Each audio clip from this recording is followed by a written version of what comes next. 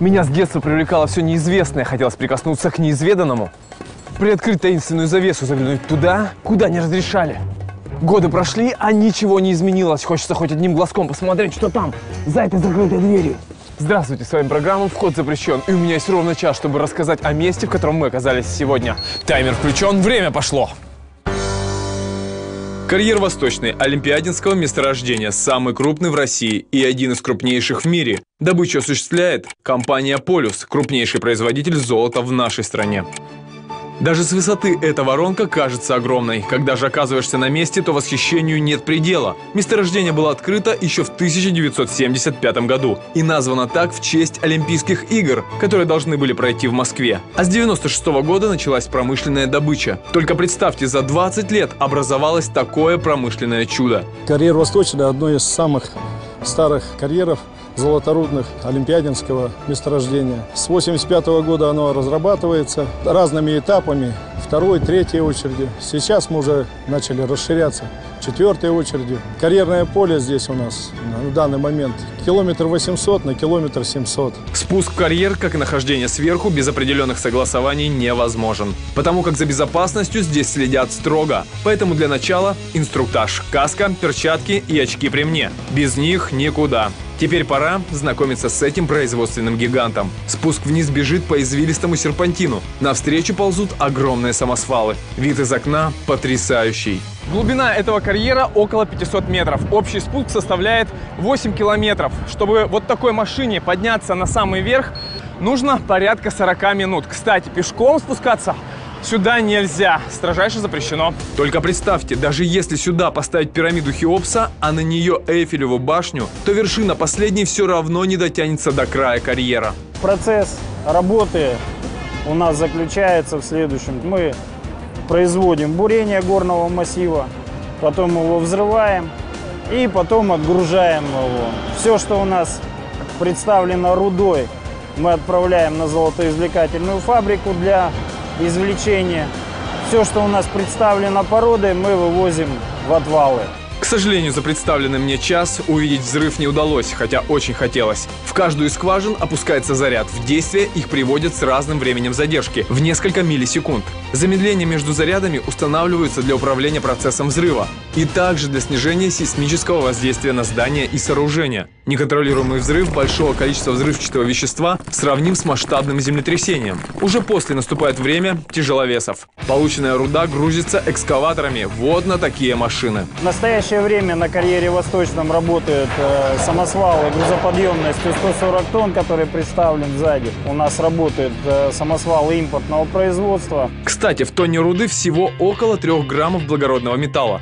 Но мысли о том, что вокруг золота, вводят меня в состояние старателя времен золотой лихорадки. Здесь везде скрыто золото. Даже под ногами золото. Такое ощущение, что я иду по нему. Но подобный блеск в глазах здесь только у меня и моего оператора. Для местных работников это обыкновенная привычная работа. Поэтому своим поведением мы вызываем только улыбку. Когда я устроился на работу, сюда первый раз перевелся горным мастером, видел вот эти вот, ну, казалось, что может быть это оно, но нет, такого здесь нет. При спуске в карьер мы отмечаем идеальное состояние дорог, несмотря на постоянный трафик тяжелой техники. Отработанную скальную породу везут на дробилки, а оттуда крупной фракцией отсыпают дороги, следят здесь и за грунтовыми водами. По всему карьеру оборудованы стоки, ведь обилие воды может привести к осыпанию. Помогает радиосвязь, которая позволяет своевременно выявлять места, где происходит, э, допустим, осыпание горной массы, либо это, чтобы своевременно быстро это убрать,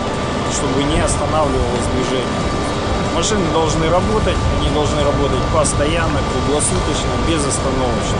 Контроль над этой махиной осуществляется здесь. Это сердце карьера, диспетчерский пункт. Каждая единица техники на объекте находится во внимании. С любым из работников диспетчер может легко связаться. Сегодня карьер Восточный Олимпиадинского месторождения переходит на четвертую очередь разработки. То есть в будущем он станет еще шире и еще глубже. Многие видели, как огромные машины везут вот такую руду. Куда она идет и что с ней происходит, немногие, к сожалению, знают. Мы попробуем разобраться. Но для этого лучше надеть беруши. Там будет шумно, советую.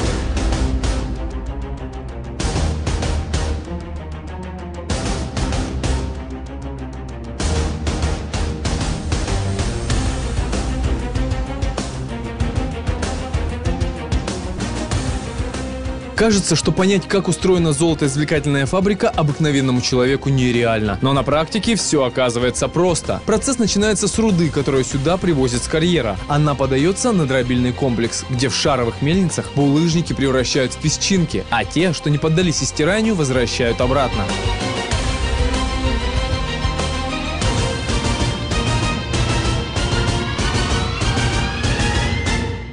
Измельченный продукт проходит стадию классификации в классифицирующих аппаратах гидроциклонов. Срыв гидроциклонов направляется на флотационное обогащение, а пески поступают на гравитационное обогащение. Если простым языком, полученный песок смешивают с водой, и на выходе из мельниц получается золото, содержащее пульпа. Внешне она напоминает грязную жижу, никогда не подумаешь, что в ней содержится благородный металл. Ее-то и отправляют на классификацию. Пески гидроциклонов подаются на участок грохочения, где подрешетный продукт подается на участок гравитации. Крупные частицы отправляют на доизмельчение, а менее 3 мм идут центробежные концентраторы на гравитационное извлечение так называемого свободного золота. К сожалению, на подобную добычу здесь приходится менее 10%. Основную часть желтого металла извлекают из флота концентрата.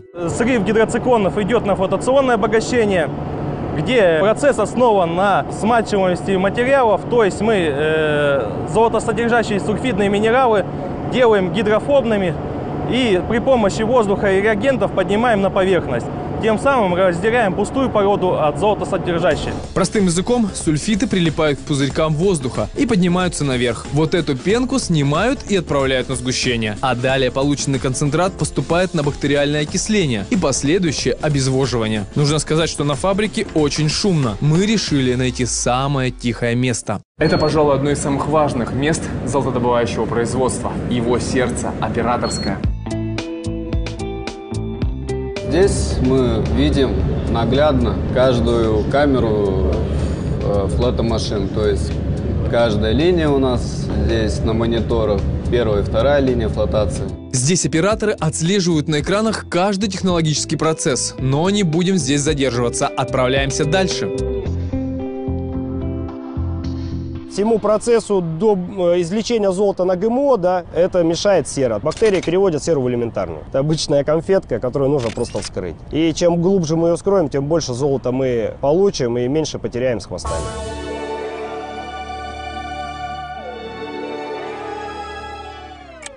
Сульфобациллус олимпиадикус бактерии были выведены специально для олимпиадинского ГОКа, названы в честь этого месторождения. Именно они помогают извлечь ту самую золотую конфетку. Бактерия – живой организм. В природе процесс окисления происходит под воздействием окружающей среды и бактерий, но этот процесс весьма продолжителен. Для промышленного применения этих природных особенностей необходимо сокращать требуемое время в разы. Учитывая требования бактерий к их содержанию, в процессе бактериального окисления поддерживаются определенная температура и приток воздуха. В данный момент три существующих цеха Био-1, 2, 3. В три цеха идет переработка 1350 50 тонн флотоконцентрата и получаем э, золото порядка 75-78 килограммов в сутки. Но мощности существующих трех цехов недостаточно, поэтому было принято решение построить и запустить в 2017 году дополнительный комплекс биоокисления, состоящий из 8 реакторов объемом 1000 кубов. Отведенный мне час близится к завершению, а к привычному нам золоту мы так и не приблизились. После биоокисления начинаются чудеса химии и физики. Полученный раствор подвергается выщелачиванию, дисорбации, электролизу и уже катодный осадок обжигается. Только тогда золото отправляется на плавку. А об этом мы расскажем в следующей программе «Вход запрещен». Мифы древних народов – это всегда тайны. Во многих из них встречалось упоминание о золоте – мы решили отправиться туда, где зарождались такие легенды. Туда, где скрыт этот благородный металл. Туда, куда вход запрещен. Здравствуйте! Сегодня мы решили посмотреть, как, казалось бы, из обычного камешка получаются вот такие золотые слитки. И у меня есть ровно час, чтобы раскрыть некоторые секреты драгоценного металла.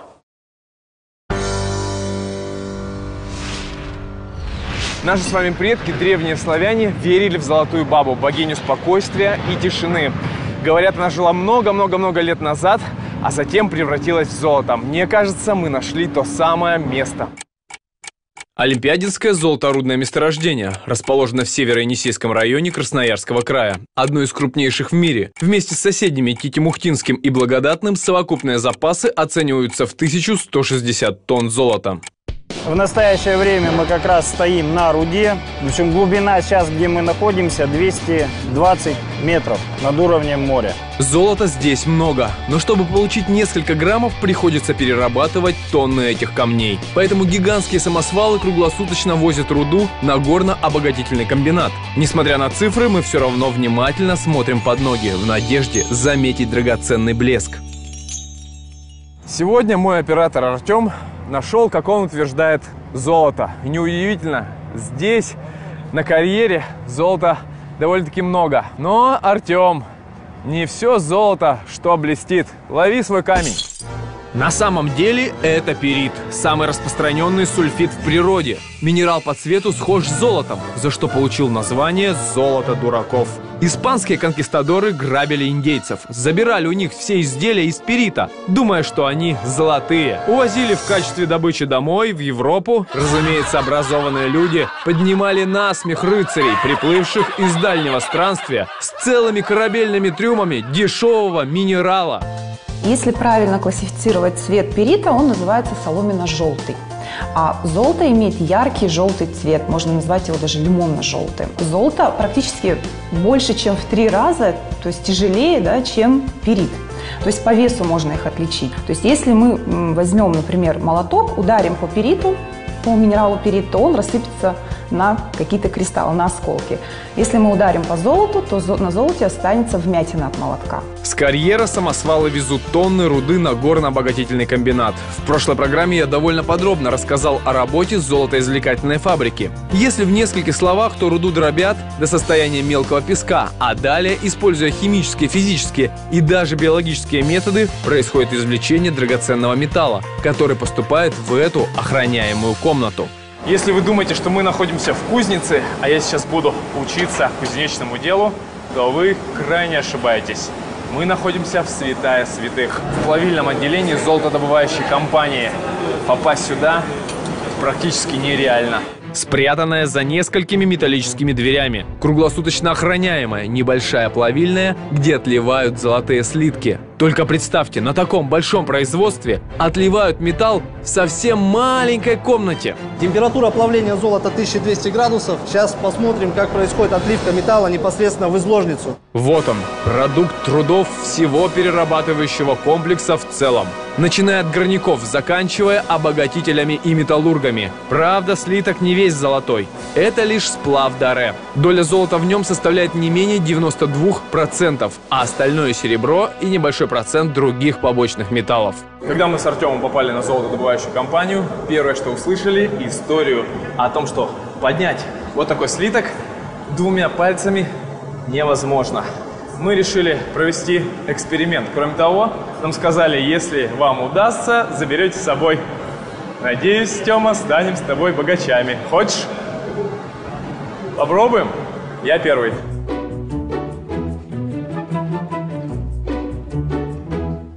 Не, Тём, нереально, нереально. Пошли.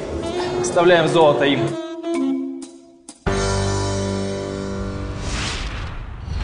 Уже после эти 10-килограммовые слитки поедут на афинажные заводы, где из них произведут привычное золото. Но это уже другая история. Олимпиадинское месторождение, одно из крупнейших золоторудных месторождений России, находится в северо-енисейском районе Красноярского края. Добычу золота осуществляет ПАО «Полюс». Здесь прекрасно все. Ползет маленькая божья коровка. Кажется, что она размерами, как те автомобили. Отсюда все кажется маленьким. Но на самом деле, вблизи эти машины просто гигантские. Лети, божья коровка! Это место похоже на страну великанов из произведений Джонатана Свифта. Гигантские карьеры, гигантские механизмы, гигантские автомобили. На золотодобывающем предприятии «Полюс» специальной технике уделяется особое внимание. От ее качества зависит уровень производительности. Это 90 тонны, 136 тонной. И сейчас то, что мы переходим уже на автосамосвалы грузоподъемностью 220 тонн примеру, на карьере «Восточный» один 136-тонный самосвал делает около 10-12 спусков и подъемов по извилистому серпантину. Во всей этой массе руды, загруженной в такой кузов, золото в среднем не более 400 граммов. Кстати, один такой ковш вмещает 10 кубов породы. Из погрузочной техники э, мы работаем на наших отечественных экскаваторов.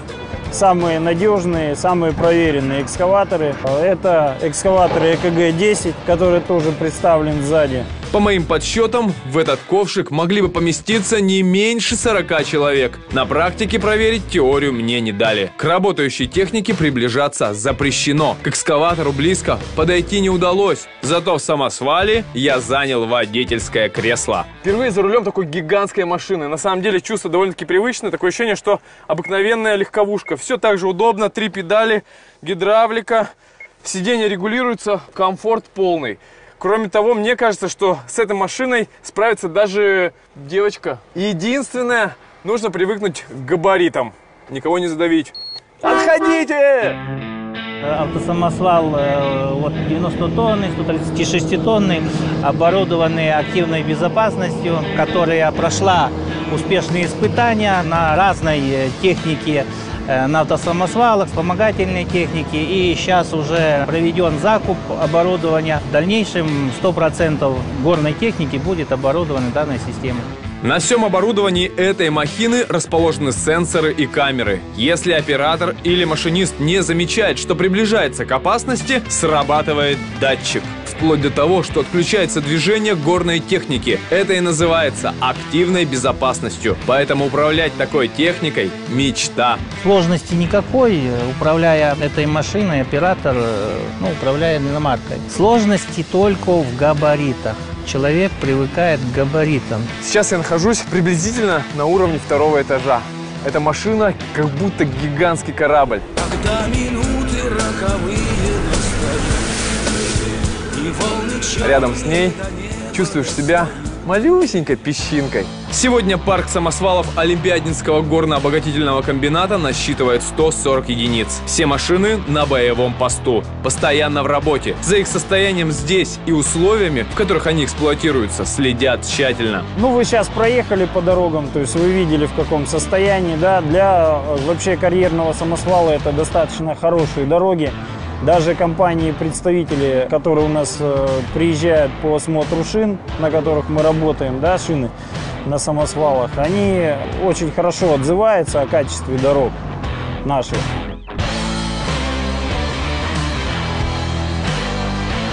Только представьте, одно такое колесо вешает около трех тонн. Если что-то случается с колесом, то самосвал транспортируется в ремонтный бокс, где с помощью спецтехники его переобувают. Но это уже другая история.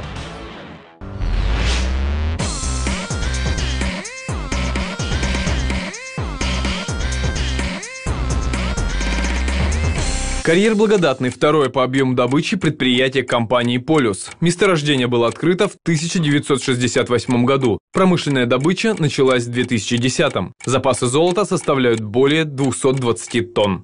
Местные работники признаются, что приезд журналистов – это для них всегда стресс, потому что нам охота подняться повыше, чтобы сделать самый вкусный, самый интересный кадр. А это здесь очень опасно. Например, ходить по бровке строжайше запрещено. Одно неверное движение и свободный полет. Вот так. А посмотреть здесь есть что. Конечно, сравнивать этот промышленный объект с соседним карьером Восточный просто бессмысленно. И в глубину он гораздо меньше, всего 160 метров, да и содержание золота в руде ниже. 1,4 грамма на тонну. Но у этого места есть свои особенности. Для начала нам предстоит спуск вниз. Ширина дороги вообще проектная около 30 метров для того, чтобы свободно разъезжали самосвалы. Два. Нужно сказать, что в отличие от Восточного, на Благодатном наряду с 90 и 136 тонниками трудятся машинки побольше. Вот такие 220-тонные исполины автопрома. Они и шире почти 7,5 метров и длиннее 14,5 метров. Но как бы это ни было удивительно, они гораздо выгоднее своих маленьких собратьев. И не только благодаря грузоподъемности. 220 тонны, э, которые HD, у него удельный расход ниже, чем 136 тонного.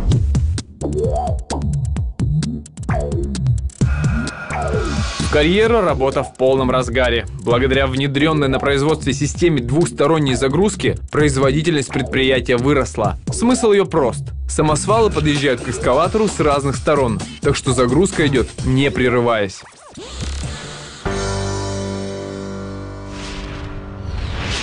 Почему золото такое дорогое? Сколько золота в мире? Что будет с мировой экономикой, когда извлекут все золото? На самом деле в мире золота ни много и ни мало. Его как раз достаточно. Другое дело, что процесс добычи довольно-таки сложный. Чтобы получить вот такой 8-килограммовый слиток, нужно переработать 20 машин руды.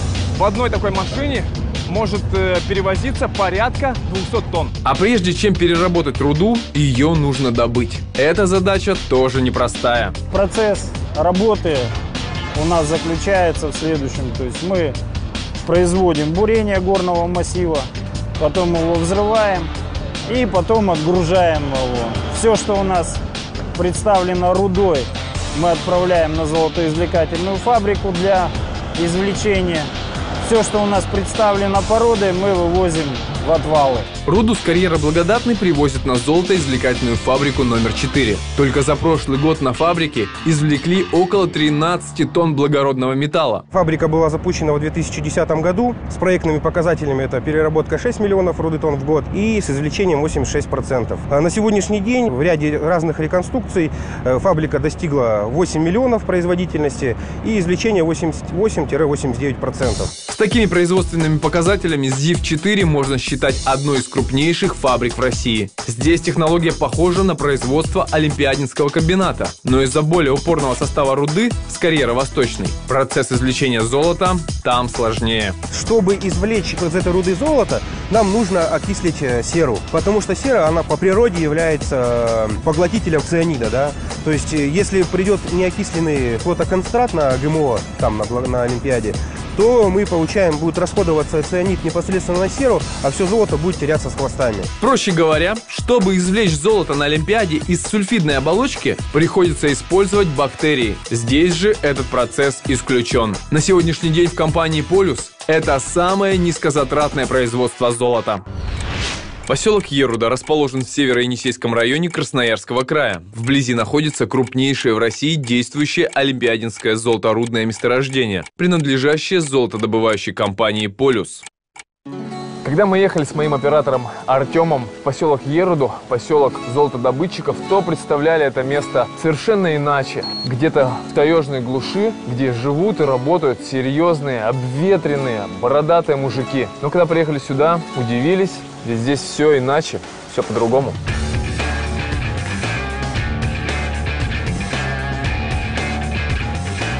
Несмотря на свою удаленность от краевой столицы, на закрытость, как-никак объект режимный, на сложные климатические условия, на предприятии компании «Полюс» для работников созданы все условия для комфортного проживания. Это полноценный городок с развитой инфраструктурой, магазинами, медицинскими учреждениями и современным жильем со всеми удобствами.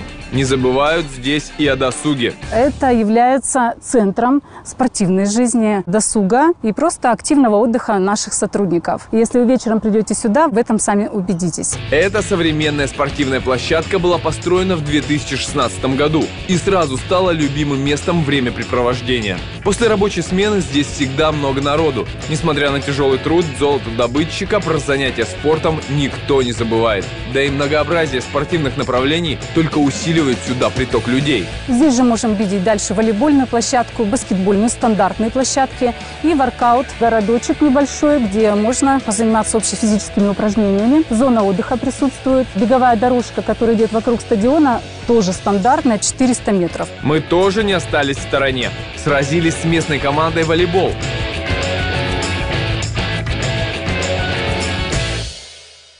Но, к сожалению, проиграли. И неудивительно, командному спорту здесь уделяется особое внимание. Постоянные тренировки дают положительные результаты. Так, молодая хоккейная команда заняла в этом году второе место в Северо-Енисейском районе. Теплых дней здесь гораздо меньше, поэтому и к зимним видам спорта интерес большой. Здесь проводился хоккей. Технологии новые, которые были использованы, они позволяют нам заливать здесь лед. Два раза в неделю мы катаемся массово, то есть любая девушка, мужчина могут прийти взять коньки, прокатиться, получить удовольствие, послушать приятную музыку и уйти отсюда здоровыми и румяными. В зимний период времени особенно популярны закрытые спортивные залы. Их 16. Здесь можно побегать на беговой дорожке, позаниматься на силовых тренажерах, побить грушу и даже сыграть на бильярде.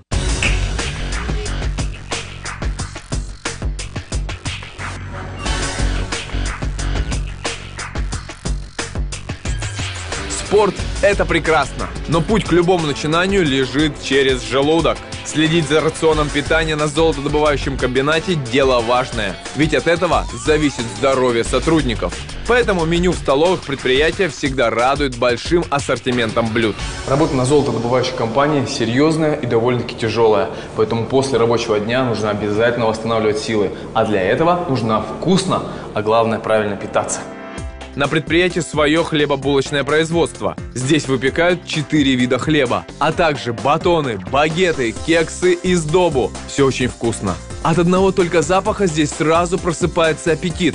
Кроме этого, функционирует цех по изготовлению кисломолочной продукции. Данная линия полностью является автоматизированная. Здесь производится процесс постановления молока и кисломолочной продукции.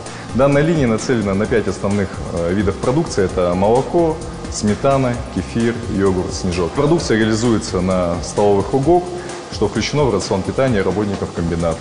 Линия была модернизирована в 2006 году. Молоко сюда, естественно, привозят сухое. А вот процесс восстановления производится без применения каких-либо химаппаратов. Поэтому все полезные свойства продукта сохранены.